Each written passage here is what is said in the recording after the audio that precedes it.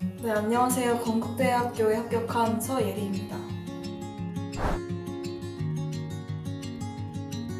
어, 아직도 실감이 안 나고 되게 행복한, 행복합니다. 잘 모르겠는데 다 같이 쌤들의 말씀을 따라갔더니 합격을 한 것 같습니다. 쌤들이 강조하시는 걸 지키려고 했던 게 가장 큰 것 같아요. 주황색 운동화끈이랑 흑백 사진으로 준 병이랑 두 종류 패턴지를 제신으로 주고 패턴지를 병에 적용시켜서 운동감을 표현하는 게 문제였습니다. 일단 색깔이 자유였기 때문에 색 선택을 굉장히 신중하게 했고 색은 주황색에 보색으로 포인트를 주고 주제의 운동감은 운동화 끈의 동체를 역동적으로 하려고 했습니다. 그리고 움직임의 느낌이 더 강한 패턴지의 모양과 병의 모양새에 통일감을 줘서 운동감을 표현하려고 했습니다.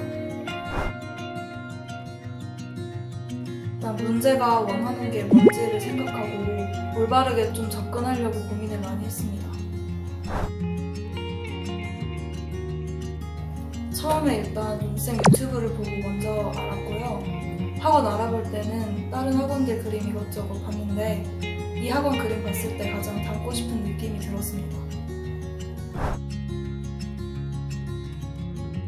학생 한 명 한 명의 장단점을 잘 분석해 주셔서 스스로 노력해야 할 부분들을 확실히 알 수 있게 해주시는 게 좋은 것 같고요. 대안만 어떻게 이렇게 붙이려고 하는 수업이 아니라 디자인을 하는 사람이라면 뭔가 있어야 하는 지식이나 가져야 하는 태도도 함께 알려주셔서 더 유익한 학원인 것 같습니다.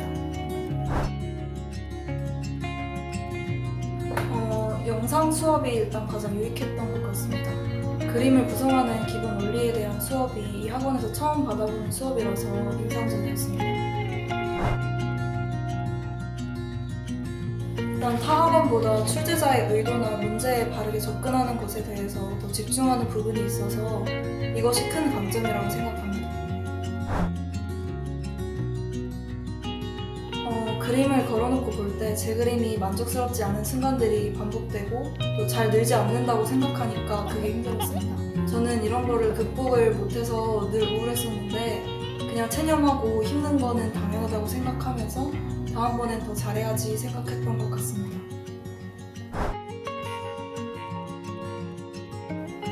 어, 문제를 잘 읽는 게 정말 중요하다고 말하고 싶고요. 뻔한 말이지만 끝날 때까지 아직 끝난 게 아니니까 최선을 다하라고 말하고 싶습니다.